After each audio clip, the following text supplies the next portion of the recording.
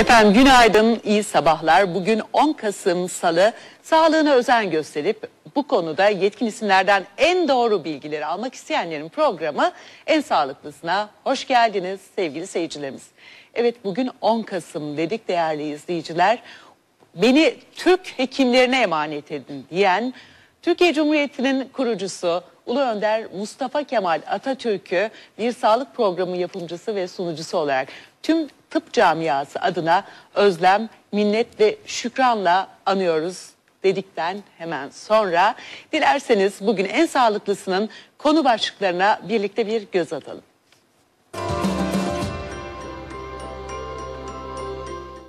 Kısırlık neden artıyor? Tüp bebek tedavisine ne zaman başlanmalı? Tüp bebek uzmanı operatör doktor Aret Kamar en sağlıklısını da anlatacak. Evet efendim bugün tüp bebek tedavisi konuşacağız programda ilk bölümde ve ardından Doktor Gönül Ateş Saçağı'nda mutfağımıza geçeceğiz. En sağlıklı mutfakta yine güzellik bilgileri vereceğiz ve metabolizma çayları üzerine konuşacağız.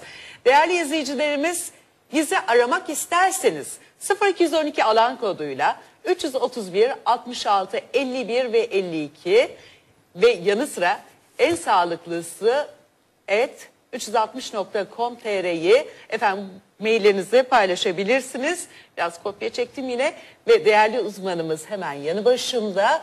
Efendim uzun yıllardır kısırlık üzerine tedaviler yapan tüp bebek uzmanı İstanbul Tüp Bebek Merkezi'nin değerli koordinatörü Doktor, operatör doktor Aret Kamar bizlerle bu sabah kendisiyle A'dan Z'ye efendim kısırlık tedavisini konuşacağız. Tüp bebek tedavisini konuşacağız. Hocam hoş geldiniz. Hoş bulduk. Nasılsınız? Nasılsınız? İyisiniz. Çok İyiyim. iyi gördüm. İyiyim. Ta- teşekkür ederim. Yazın dinlendik. Evet. Şimdi yeni sezon açıldı artık. Harıl harıl çalışıyorsunuz çalışmaya hocam başladık. biliyorum. Bayramlar 120 geldi. e, hasta bakıyorum diyorsunuz. Evet hiç bakmadığımız gün o kadar bakıyoruz. Evet. Gerçekten büyük bir dert biliyorsunuz. Siz senelerdir bu işin içindesiniz. Çocuğu olmayanın, çocuğu olmayanın ayrı derdi var. Onun çevresinin ayrı derdi var.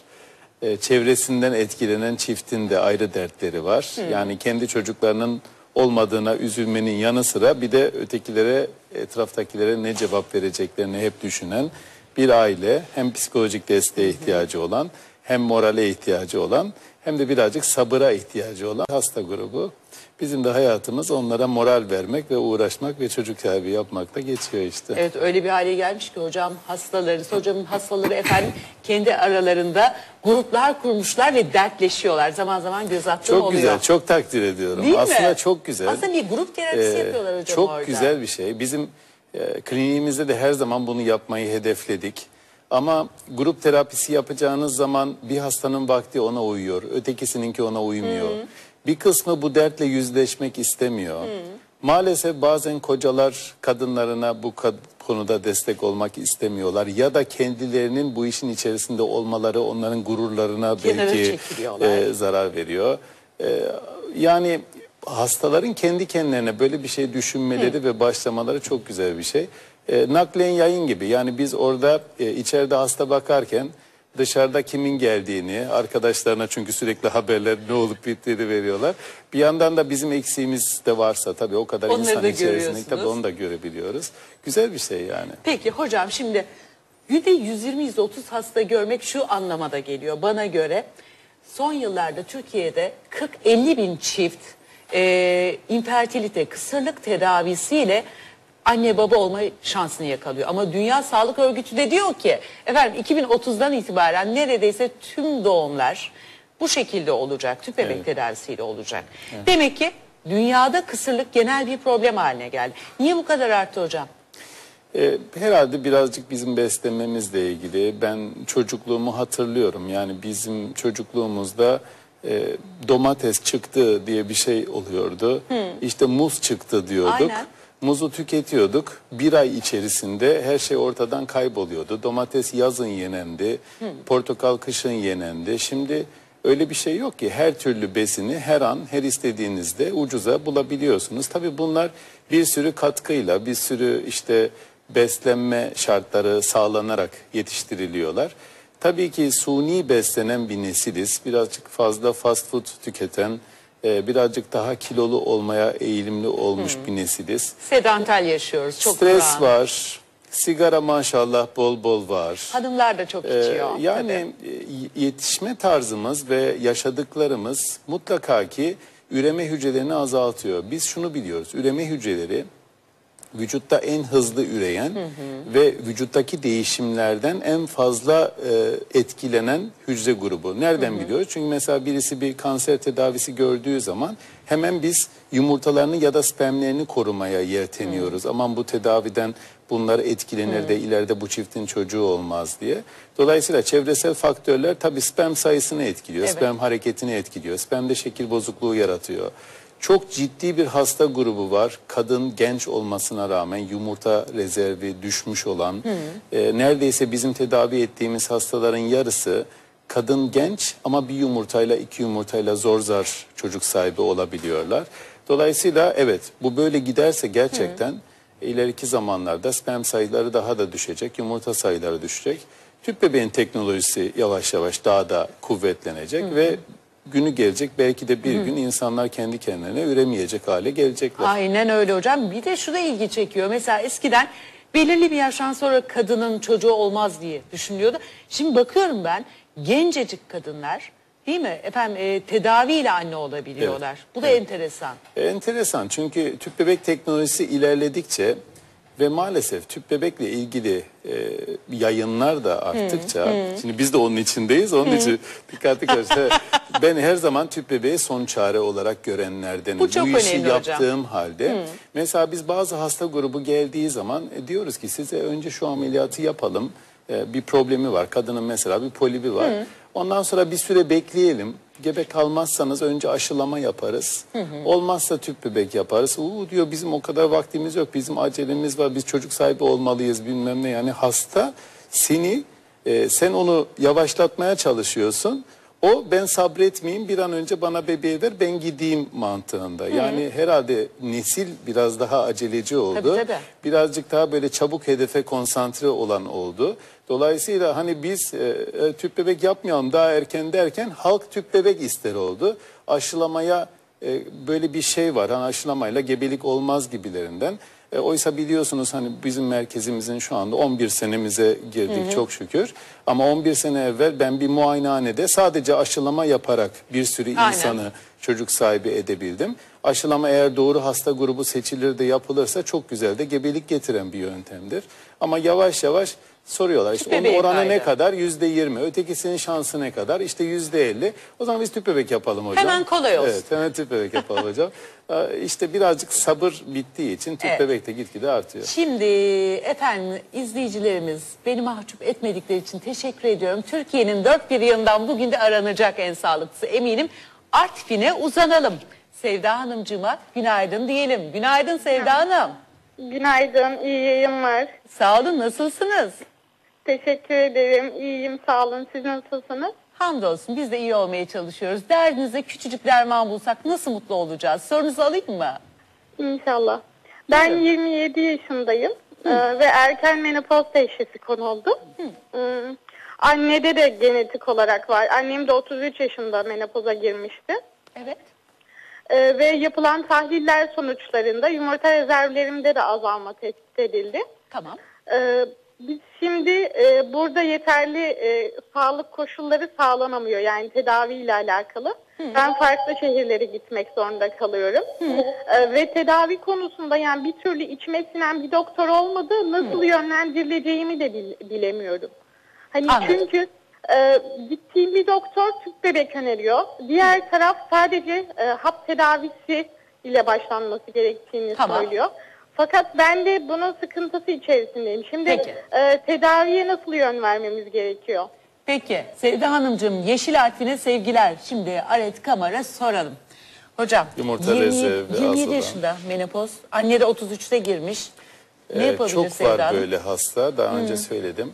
Şimdi bir kere ş- şöyle korkmamak lazım. Eğer bir kadının FSA'sı yüksekse ki FSA yumurtalık rezervini gösteriyor biliyorsunuz. Bir de moda olan bir tahlil var AMH diye.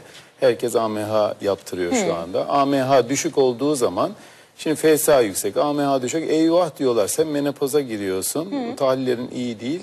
Hemen tüp bebek yaptırmalısın. Tamam. Ee, bu çok doğru değil.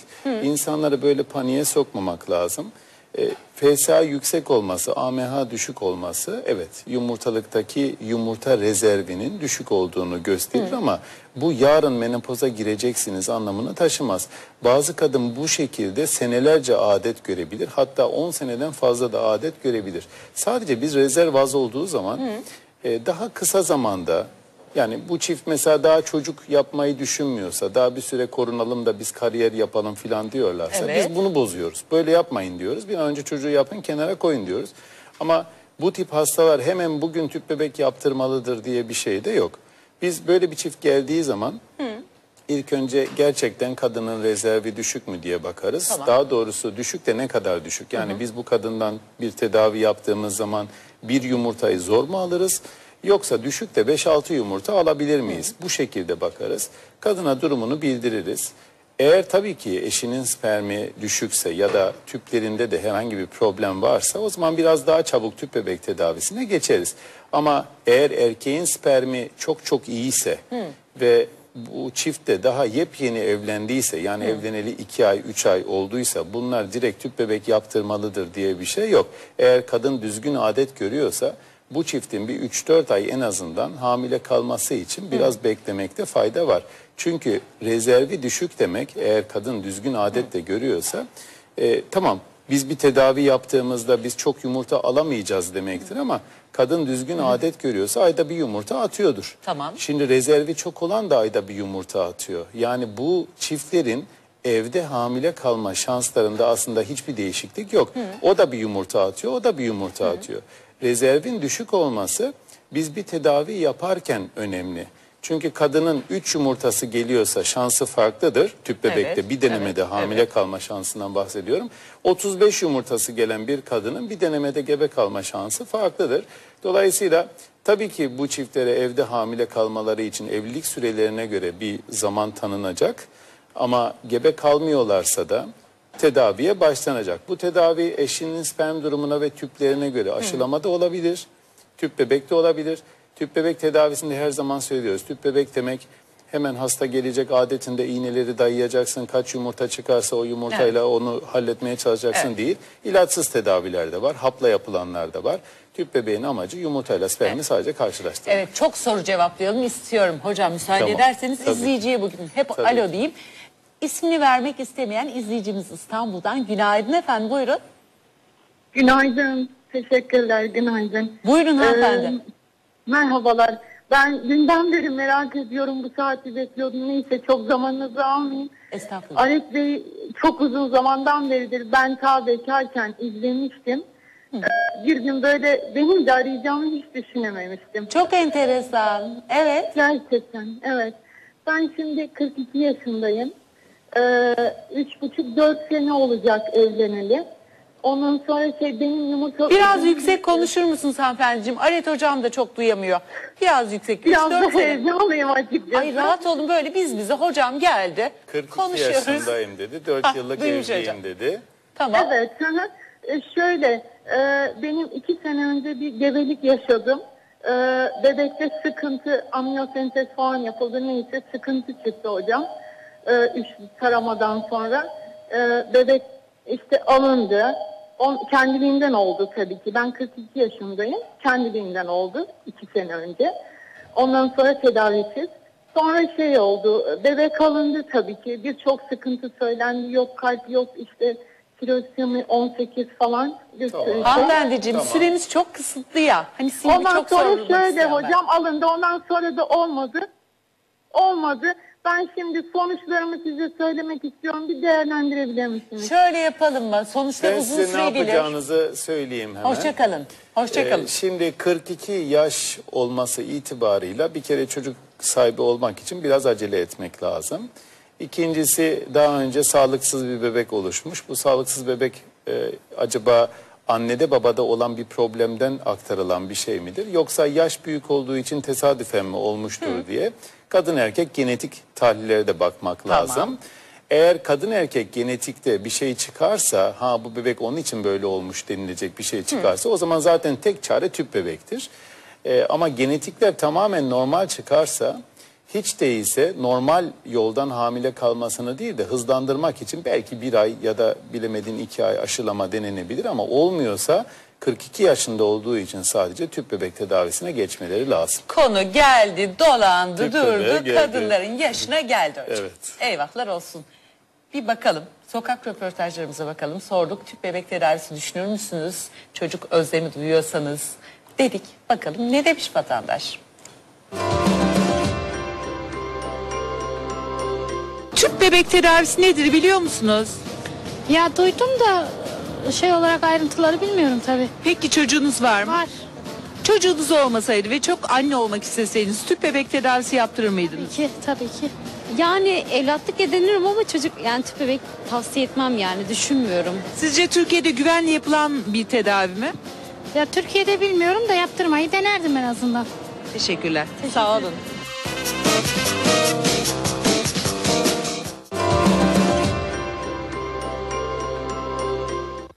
Evet hocam cevaplar böyle.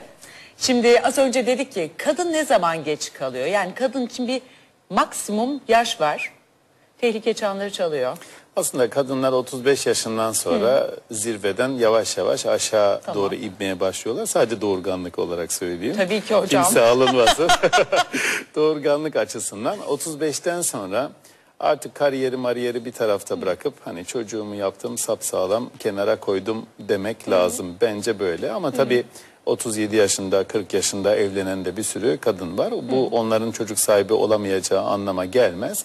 Ben her zaman söylüyorum bizim 43 yaşında da bize başvuran yeni evlendim diyen hasta da var. Onların sadece gençlere göre gebe kalma hızları azalmış oluyor. Bir de gebe kalınınca tabii yumurta kalitesinden kaynaklanan birazcık daha böyle sağlıksız bebeklerin oluşabilme ihtimali birazcık artmış oluyor. Ama hamile kalınamaz diye bir şey yok. Ee, genç bir kadın bir sefer iki sefer uğraşıyor, gebelik elde ediyor. Ama 42 yaşındaki bir kadın da bu işi kafaya koyarsa çok da güzel gebe kalıp doğurabilir. Uğraşıyorlar, gebe kalıp doğuruyorlar. Başta da söylediğim gibi bu işin temeli sadece sabıra ve inanmaya bakıyor. Ve uğraştıktan sonra da çiftlerin hemen hemen çoğunun çok belli başlı durumlar dışında çocuğu oluyor. Peki hocam şimdi bir tüp bebek tedavisine başlarken e, çift evlendi işte çocuk sahibi olmak istiyor ama olmuyor. Ne kadar beklemesi lazım o çiftin? Şimdi eğer bu kadının yaşı 35'in altındaysa Tamam. kitabi olarak bir yıl korunmasız ilişkiye rağmen ve ilişkide düzenli oluyorsa e, doktora başvurmaları lazım. Ama kadın 35 yaşının üstündeyse bu bir yıl değil de 6 ay yapılabilir. Ama tercihen tabii inşallah bir gün olur ama kadınların normal zamanında da sağlıkları açısından hekime gitmeleri ve orada bir kontrol olmalarıdır. Aslında istenen şudur. Bir kadın doğurganlıkla ilgili mesela ben evlendim şimdi çocuk yapmayı düşünüyorum dediği zaman bir kadına kadın doğumcuya gidip orada rahmi doğuştan normal midir? Bir rahim şekil bozukluğu var mıdır? Yumurtalıklarının durumu nedir? E, hatta eğer erkek de veriyorsa erkeğin sperm durumu nasıldır? Ya şimdi niye bir sene boşu boşuna bekleyesin ki? E, mesela kocanın spermi düşük. E, bu da sperm tahlili yapılmadan ortaya çıkmıyor. Sen bir sene e, benim çocuğum olacak diye uğraşıyorsun. Sonra bir sene sonra gidiyorsun bakıyorsun diyorlar ki sizin sperminiz düşük zaten çocuğunuz olmaz. Gel tüp bebek yapalım. Niye boşuna bir sene Siz kaybedersin? üreme karnesinden bahsediyorsunuz Evet. zaten. Çift evlenmeyi Bence bir çift evlendi ve çocuk sahibi yapmayı olmayı düşünüyorsa ilk önce e, sağlıklı olarak çocuk doğurabilirler mi? Gebe kalmalarını engelleyen bir şey var mı? Ailede bir hastalık var mıdır çocuğa nakledilecek? Akraba evliliklerinde aileden gelen bir hastalık var mıdır? Kadının rezervi nasıldır? Her şeye baktırmaları lazım. Ama bizim ülkemizde daha doğrusu ülkelerin çoğunda e, kadın hamile kalır. Ondan sonra doktora gider. Doktor der ki işte senin rahminde doğuştan şekil bozukluğu varmış. İşte bir de miyomum varmış. İnşallah bir şey olmaz bu gebelikte. Ondan sonra kelle koltukta bir gebelik geçirir. Bazen gebelik kaybedilir, bazen erken doğar, üzüntüler yaşanır. Ondan sonra da işte onları tamir etmeye çalışır. Onun için en güzeli sizin dediğiniz gibi baştan. Baştan bir üreme karnesi çıkarın. Evet. Bu ayıp bir şey de değil. Çift tabii. aile olmak için evleniyor. Değil, mi hocam? Her işte öyle. Sağlık anlamında aslında temel olan temel sağlığı korumaktır. Sonra tedavilerdir ama bizde hep hasta olununca doktora Aynen gidilir. öyle hocam, Öteki e, temel sağlık taramalarını biraz daha ön plana çıkarmamız gerekiyor. Evet bir telefonumuz daha var. Günaydın. Günaydın, hayırlı yayınlar. Teşekkürler. Buyurun sorunuzu alalım hanımefendiciğim. Ee, benim e, kızım e, bir yıllık evli. Ee, hiç korunmadan e, çocuğu korunmadı bir yıl içinde. Ee, hamilelik de olmadı. Ee, biz e, farklı çeşitli devlet hastanelerine gittik. Erken menopoz teşhisi konuldu.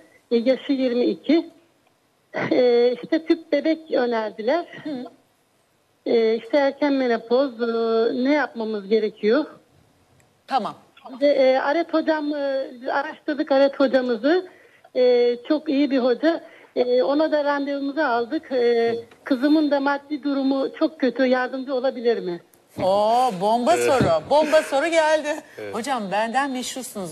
Ben her gün Estağfurullah, yapsam da estağfurullah. Hastalar şey- takip ediyor bir Evet hocam. Bu alanda diye, diyelim e, çünkü hani çok insana elimiz değiyor. Bir şekilde çocuk sahibi dedince insanlar hatır şinaslar unutmuyorlar. E, e, az önce bahsettiğimiz konu 22 yaşında ama Evet, aynı yumurtalık hocam. rezervi düşük. Böyle çok hasta var. E, bunlar maalesef sen menopoza giriyorsun ya da menopoza e, menopoza gireceksin diye panik halinde geliyorlar. Bunların iyi bir tüp bebek merkezinde Tedavi takip olmaları olmaları ve bir an önce çocuğa Umut kavuşturulmaları var mı hocam lazım. mesela 22 yaşında? Çoğu gebe kalıyor. e, çoğu gebe kalıyor. Şöyle diyeyim. Şimdi yumurtası azalmış kadın eğer kadın 44 yaşına gelmiş de yaşlanmadan dolayı yumurtası azalmışsa gerçekten gebe kalması zor. Ama kadın 22 yaşında yumurtası azalmışsa şimdi 22 yaşında bir kadın yumurtladığında 22 yıllık bir yumurta yumurtluyor. Aynen. Yani genç bir yumurta yumurtluyor. Onların bir yumurtayla hamile kalma şansları bile var.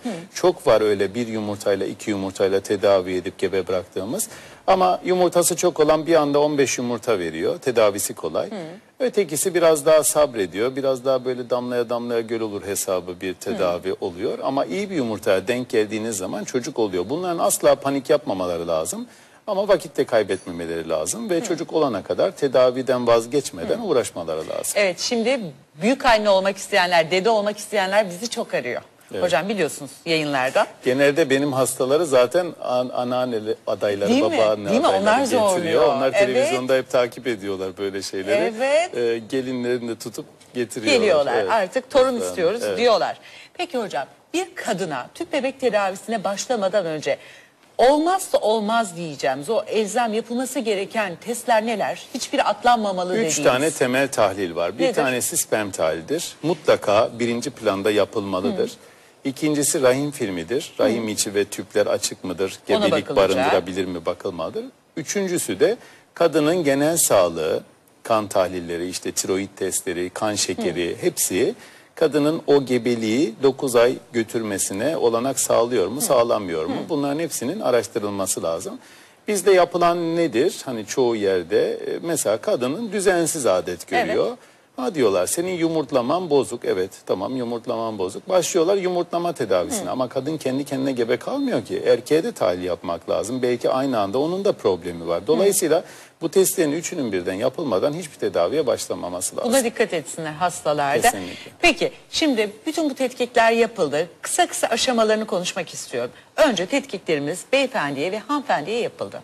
Akabinde artık işte yumurta çatlama dönemi, kullanılan iğneler bu dönem başlıyor. Ondan önce hemen şeyi soracağım. Bu rahim içi film çok can yakar diye böyle bir şehir Yok efsanesi hayır, var. o eskiden öyleydi. Öyle bir şey yok. Çok nazik plastik kateterlerle şimdi Tamam. çekiliyor. Çeken de iyiyse hiçbir Problem ağrı yok, olmuyor. ağrı Hayır, yok. hayır. Peki hocam tedavinin basamaklarını bir anlatır mısınız bize? Tedavinin ilk aşaması tahlillerin yapılmasıdır. Ondan sonra tüp bebeğe karar verildiyse Tamam. eğer kadın adetinde gelir.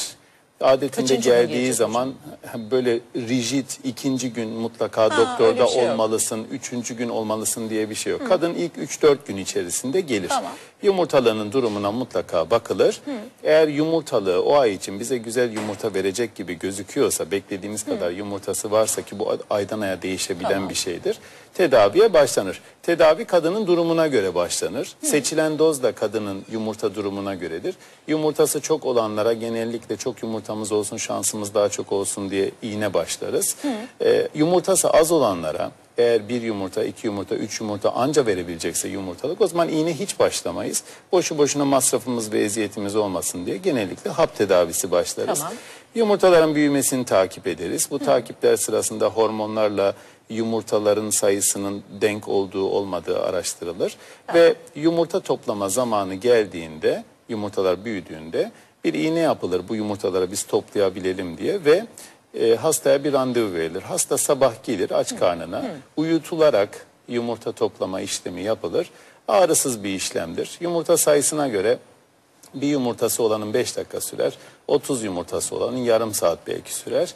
Kadın sonra yatağına alınır. Yatağında bir yarım saat 40 dakika istirahat eder. Anestezinin etkisi geçince gider. O toplanan yumurtalar kocasının spermiyle mikro enjeksiyon işlemiyle Laboratuvarda duralım. Orada duralım. Durduk. Soru alacağım. Durduk orada. Ee, hocam laboratuvar değil mi? Çok önemli bir aşama. Laboratuvar bu işin mabedidir. Şimdi orada durduk. Yadigar Aslan İstanbul'dan günaydın. Günaydın. Nasılsınız Yadigar Hanımcığım? Teşekkür ederim. İyiyim. Siz nasılsınız?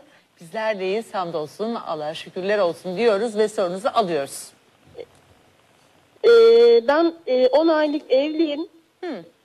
10 aylık teşekkür ederim. 10 aylık evliyim. 40 yaşındayım. İki sefer normal gebelik geçirdim ama her seferinde 8. haftada bebeğimin kalbi durdu. 8. Ben- hafta.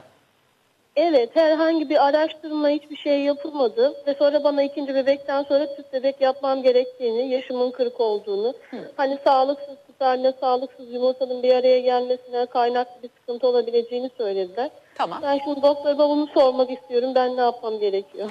Peki efendim. Hemen Hoşçakalın. cevaplayayım. Hemen. Ee, insanlar şey zannediyorlar işte tüp bebek yaptığımız zaman iyi yumurtayı doktor görüyor, iyi spermi de doktor görüyor.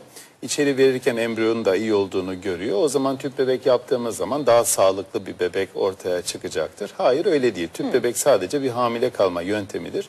Biz tüp bebekle hamile kalanların da düşük yaptığını da görüyoruz. Bebeğinin sakat olduğunu da görebiliyoruz. Şimdi bu hanımefendi hamile kalıyor ama bebeği Sekizinci büyütemiyor. haftada. Şimdi biz tüp bebekle onu hamile bıraksak belki onu da büyütemeyecek. Peki ne yapmak Dolayısıyla lazım? E, hamile kalıp büyütemeyen birisi niye büyütemiyor diye bakılması Tamam. lazım. Karı koca genetik testler yapılacak. Tamam. Rahim filmi çekilecek. Bebeğin büyümemesi için bir neden bulunacak. Ona göre bir tedavi yapılacak. Çünkü tüp bebeğin içinde de bir sürü tedavi var. Bebeği koymadan evvel genetiğine baktığımız var. Genetiğine bakmadan koyduğumuz var.